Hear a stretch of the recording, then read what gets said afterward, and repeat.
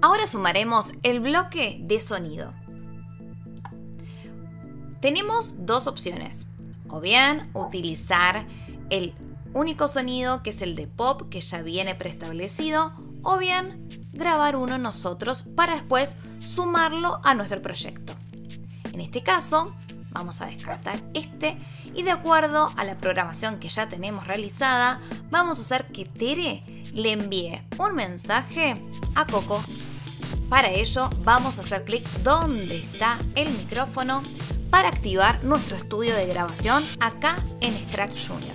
Vamos a hacer clic en el botón rojo de Rec para comenzar a grabar nuestro mensaje. Hola Coco, ¿cómo estás? Te estaba esperando para ir a surfear las olas del mar. Una vez que finalizamos, colocamos el cuadrado de stop. Para chequear si quedó de acuerdo a lo que teníamos pensado, vamos a hacer clic en play para escuchar nuestro audio. Hola Coco, ¿cómo estás? Te estaba esperando para ir a surfear las olas del mar.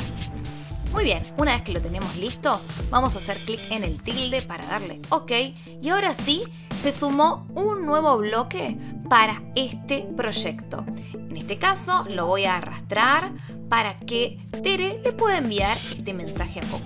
Una vez que se lo dice, voy a sumar también algunos de movimiento para mostrarle que está muy contenta.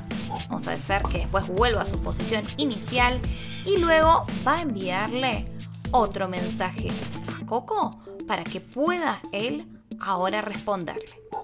Vamos a enviarle un bloque, un mensaje de color verde.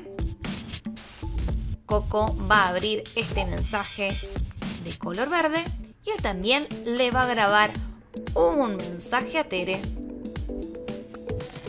Hacemos clic nuevamente en el micrófono.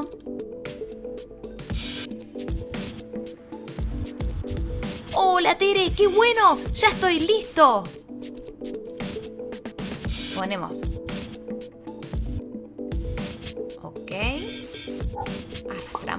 y probamos qué tal está quedando nuestra historia.